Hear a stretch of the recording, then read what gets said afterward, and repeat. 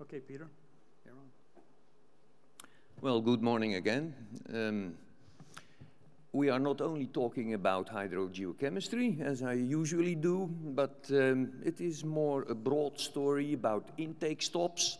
Not your intake of uh, Riojas or whatever, but it is on the intake, the intake interruption of surface water for MAR. So that's what we are going to talk about. And in special, it will be on the environmental impact and the mitigation of these interruptions for basin aquifer transfer recovery systems. I will explain that long uh, word later on.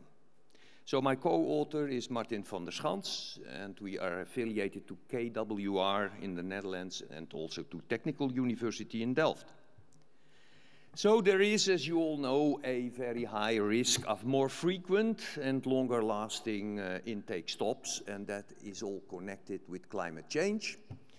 Sea level rise, and the Netherlands are vulnerable to that during uh, high uh, water stands uh, when there are storm, storms from the northeast. Con pollution is continuing, I'm sure about that, and there are always users upstream who may have some uh, disadvantages of the water we are taking in. And the aggravating effects of all this are the costs. Huh? We are always dealing with cost management and everything becomes more expensive. So also intake stops, they make everything more expensive. And then there is a growing water demand, of course. MAR reservoir management, that is perhaps uh, a good new word. Huh? Uh, we have um, reservoirs, storage reservoirs, surface reservoirs, and there uh, the management is quite important to empty the basin in order to store the next uh, flood. Uh, but in groundwater, we are having, on the other side, we are always satisfied when it is full. Don't uh, empty it, but keep it as high as you can, because if there is an intake stop, then you have your reserves ready. But much water can leak away, that's, that's a problem. Sometimes also with storage reservoirs, but if the engineers did a good job, it doesn't happen. And we may have, in groundwater reservoirs, we may have salt groundwater leaking in. And we have a very stringent intake strategy. Uh, we need it, but we can also do it. And that's also not so much feasible with um, storage reservoirs. So it is different. And, uh, well, it, it's perhaps a little bit new in that sense. well, this is uh, a part of a, of a famous picture made by uh, Peter Dillon, um, but I introduced the word not ASTR, aquifer storage transfer recovery, but aquifer transfer recovery, and that's more or less the systems we have in the Netherlands. Eh? They are mainly there in order to produce continuously drinking water for the big cities in the Western Netherlands below sea level. So we have two types. We have the deep well injection and we have the basin artificial recharge type. We also have ASR, but it is a very small percentage yet. However, I expect it to boom because we have to store more in the underground given all the hazards uh, due to climate change and sea level rise. And then we have, of course, in the Netherlands also riverbank filtration, and the percentages you see here, that's about it in the total drinking water supply. Um, intake interruptions, eh, they are also the reason why MAR systems are needed. So they are good for MAR, but they are a curse for ATR systems, because if there is an intake stop, yeah, how do you continue producing your drinking water? Yeah, of course, there are various ways to do that. Um, it is special in the Netherlands, eh, be also because there is a very high risk of saltwater intrusion or upconing of saltwater, because we are very close to the sea. These dunes are coastal dunes, so if you start pumping too fast, then you get relatively fast, you get uh, saline water. And in addition, very important, we have surrounding wet dune slacks, which have an EU uh, Natura 2000 status. That means they are protected. You have to respect them, otherwise you get a fine from the European Union. And they would really desiccate if artificial recharge is interrupted for a too long period and you continue pumping from it. And I will show you later how beautiful these dunes are. But the system, our system, I explain it in the, in the figure on the right-hand side. Uh, it is, we have a river, we have the intake over there at about 50 kilometers from the true uh, artificial recharge area. We have the pre-treatment over there, then a pipeline for 50 kilometers to the dunes, where it is infiltrated via basins, most of it, some also with deep well injection. And then we have, after about 70 days or so, we pump it back uh, via wells or drains or canals. And then it goes to the post-treatment, because it is not ready yet for drinking water supply.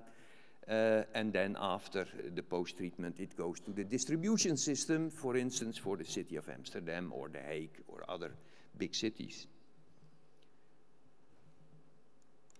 Well, this is uh, the artificial recharge area of uh, the city of Amsterdam. Uh, um, well, it looks nice from the air. You can see some canals which are dry because they uh, obviously are clogging to some extent. You can also see some algae blooms happening in some canals. And the North Sea is on the left-hand side. These dunes are really beautiful. They, uh, I just chose a few uh, slides from several dune areas. Uh, they, uh, they have high valued nature, uh, including also vegetation, like the fen orchid. I did a specific survey on various islands for this. Liparis loezelii, difficult name to pronounce, but it, it was a very much appreciated plant. Okay, in, there are many types of intake stops, and uh, their predictability is an important aspect. So we have, of course, plant interruptions for maintenance or changes in the pre-treatment system, eh, and the predictability is excellent because you know when you are going to do it. Pollution peaks detected at an early stage far upstream of the intake point, they have also a good predictability because we have models and we have communication with the people in Switzerland, Germany, France, contributing to the Rhine River, which is our biggest river. Um, then, uh, yeah, freezing was also uh, uh, something uh, which was predictable, uh, but nowadays we don't have any freezing of the Rhine River anymore due to climate change, but also due to nuclear, nuclear power plants who need the, the temperature uh, of it and they heat it up a little bit. Um, low flow periods in rain-dominated rivers, algae blooms, seawater intrusion via the river mouth. They have a moderate, moderately good predictability and very bad, of course, is, are shipping accidents, waste disposal accidents, and nuclear in, uh, accidents. Now, on the right-hand side, you see some figures with uh, the relation between the concentration of substances like fluoride, chloride, but the same holds also for organic micropollutants. And here the equation of Davis and Zobrist uh, can easily be used and it gives you, as you can see, an, an excellent uh, fit uh, of, of this relation. And uh, well, it, it, it is in many handbooks uh, and, and very valuable to predict what is going to happen. This is an overview of all uh, the consequences of intake stops we published this in Science of the Total Environment recently. So uh, this talk as well, uh, you can find all the details in this, in this paper. But you can see uh, here the schematic of a dune infiltration plant with the recharge basin and the, the recovery system, and some of the water is flowing freely to the North Sea. They let it go because it also sustains um, nature reserves, wetlands in particular. And you see some of the dangers of uh, saltwater intrusion, lowering of groundwater tables, with all the disasters for the nature as well. Um, okay. This. This happened in the past. Eh? When we were withdrawing for too long, too much water, then we had saltwater intrusion. This is a very well documented uh, thing. Eh? You see on the left-hand side a cross-section, and you see how the freshwater lands reduced uh, in about 120 years of uh, freshwater abstraction. In the middle, you can see how the groundwater drawdown uh, was in a spatial context. Eh? Up to eight meters of drawdown, and uh, that sounds uh, relatively silly compared to what you have in the United States. 150 meters, 200 meters. Nowadays, uh, those figures are, seem to be no normal, but not in our country. We are the Netherlands, so already 20 centimeters is a disaster sometimes. And then the consequences on the left, uh, right hand side, you see how the salt water came up. That is the uh, up to 30, up to nearly 80 meters of upconing uh, of the salt water. And that indeed uh, was the trigger for artificial recharge in 1957 approximately. Wetlands, you see here a map with um, wetlands on the left-hand side, uh, made by ecologists, um, the vulnerability of it, and to the right-hand side, um, yeah, that's also the vulnerability. Um, the closer they are to the, to the black ponds, the more vulnerable they are, because if those fall dry, also those wetlands fall dry first. The predicted lowering of hydraulic heads is important. Uh, um, on the left-hand figure, you can see how it was in the past, uh, during a period of um, something like 40 years or so of pumping. And those historical trends you can use to predict what will happen if we are pumping for many years, for, uh, during a very long intake stop. And to the right-hand side, you see uh, what, what happens if you have a shorter uh, up to 100 days of pumping, you can see the water level just below the, the basins, it will go down, and that's uh, a closed form analytical equation published in the paper. Um, well, we have uh, a theoretical dynamic water reserve. Eh? We have different water reserves in the dunes, eh? and one of them is the dynamic reserve. That is the amount of water we are building up by the artificial recharge itself. And you can easily calculate what is the volume of that uh, water body if you dare to simplify the whole system into a long infiltration canal and a long abstraction means. Uh, but yeah, you have to dare to model sometimes and uh, with an analytical solution you can calculate then that there is about 10 to 20 days of a, a bridgeable period in which you can overcome an intake stop. Not much. Eh? This, is, this is what is inside the artificial recharge area. Now, when you look at the whole freshwater lens which is available, then there is an upper zone which you have to keep there, and there is a lower zone where you may get the brackish water uh, inside and where mixing is going on. So you have only the blue band the, uh, where you have an available deep reserve. And you can calculate also this, vo this volume by simple analytical equations. But then there is the problem that sometimes there are at the moment insufficient deep wells. So the water supply companies, they are now really afraid of intake stops. So they are trying to make more uh, deep wells or uh, supply them with um, the good pumps, uh, the underwater pumps. And there is still a, a danger of local upconing. Drying up, eh, what happens uh, hydrogeochemically speaking when you dry up a recharge basin? Well, you can see there a, a really uh, muddy uh, basin on the uh, and when that falls dry, you get oxidation reactions. And the magnitude of these oxidation reactions, it depends on several factors, like the thickness, the mud composition, if the mud is removed or not, uh, that also makes a difference. And uh, in that graph, uh, you can see that there are peaks arising once you are uh, having dry basins, and in this case there was a huge sulfate peak because pyrite was oxid oxidizing pyrite and hydrotroilite, which is an amorphous iron sulfide, they were uh, oxidized and that generates acid and then also the uh, calcium carbonate is dissolving.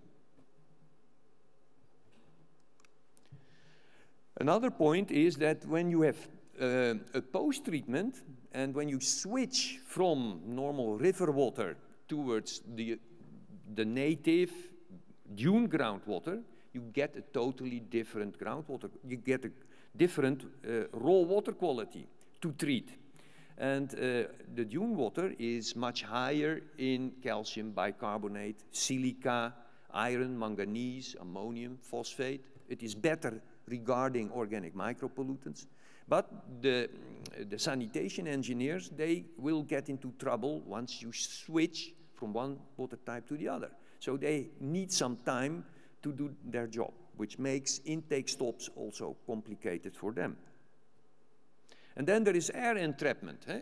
As when you have an intake stop, a long one, it dries up, and then you wish to refill the basins as soon as you can because there might be another intake stop, the next one. Eh? We, we don't know. So refill it as soon as you can. But if you have air entrapment below a basin, as you can see in the right-hand uh, figure, then uh, if the air doesn't want to go out, uh, soon enough, then uh, yeah, you don't get infiltration as you wish. And that depends, um, uh, among others, on if there is a mud layer present, if the refill is too rapid, and if the recharge basin is wide and large, then, then it takes uh, more time. Eh? If it is uh, small, long, then you have uh, less problems because the air can go out. Now, we have uh, different measures to prevent or to bridge intake stops, during which uh, pumping has to continue in our case. Uh, there are, this is by the way the figure of the Netherlands with nine dune infiltration sites and their intake points. So the preventive me measures, they consist of sanitation of the fluvial basin, uh, prevent uh, bad qualities to, um, to be generated, raise fines on uh, fluvial pollution. I think they are still too tolerant with this. Uh, they, they, should improve the pre-treatment. Eh? So if the water is polluted, yeah, who cares? The, the osmosis will take it away. Eh? That's the simplistic uh, idea, but it could be the salvation. Um, multiple intake points, that, that is really popular and they already implemented it, as you can see from uh, the figure you see several lines eh, from the, the yellow intake points towards the dune areas. And most water supply companies already have two anchors or even three anchors on which they can continue uh, their activities if one of the intakes is uh, closing down. So they, they can take water from another source. Um, an, another option is to apply ASR along the pipeline. Eh, that's also obvious. You, you, have a pipeline, you have the pre-treated water, uh, store water via ASR bubbles along the road, eh, uh, along the pipeline, uh, so as to have uh, reserves also outside the dunes. Uh, and other sources. Eh? There is a lot of brackish uh, water in the underground in the Netherlands. You could also use via brackish water reverse osmosis. You could take out the fresh water and put back at a deeper level, for instance, the, the, the more saline water you don't use. Then curative measures, they consist of an early warning system in the fluvial basin, uh, refill the basins uh, to ma maximum level as soon as you know there is an intake stop uh, coming soon. Remove the muds from the basins because the refill will be better then. Install fresh keeper wells. And if you don't know what the fresh keeper wells is, go to uh, our stand of Allied Waters, they will tell you. Um, an action plan uh, to make an, a good action plan uh, to use the reserves in the, in the dune area and ultimately, you could also reduce the water delivery. Then people can have a shower, perhaps not daily, but uh, a few days later. Why not? Uh, I also developed a magnitude scale, MIS. MIS means in Dutch wrong, and um, magnitude scale um, with the estimated frequency of occurrence, examples from the past and measures you can take.